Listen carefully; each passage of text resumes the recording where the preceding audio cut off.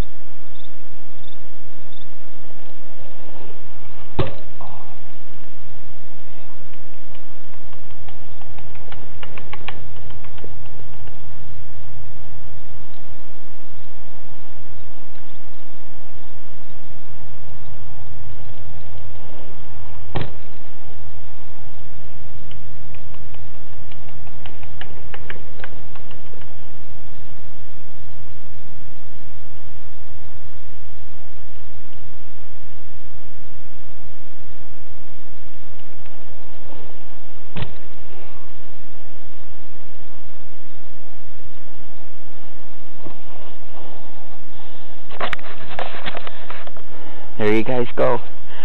Here's my BMX jump. This is the bike I'm using.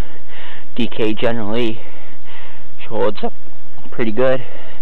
Got the Y303s on it. See that jump? I might attempt to hit that one for you guys too. It's like a mini fun box. I got two faces for it.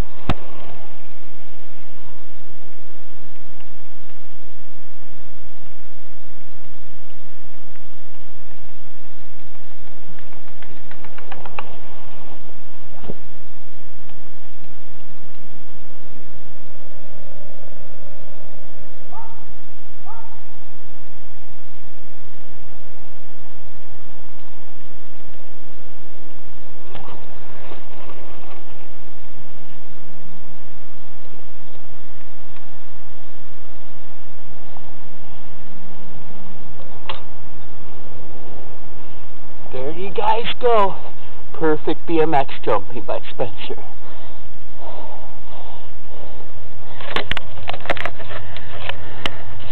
There's my bike. Had to hit, switch these handlebars. I broke the DKs. I broke two sets of DK handlebars. I got the Y303s on it. I got sealed bearings on the front.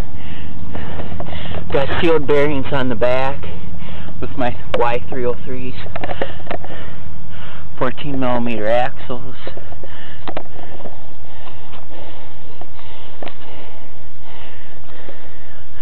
There you guys go at YouTube. This is from Six Lakes, Michigan.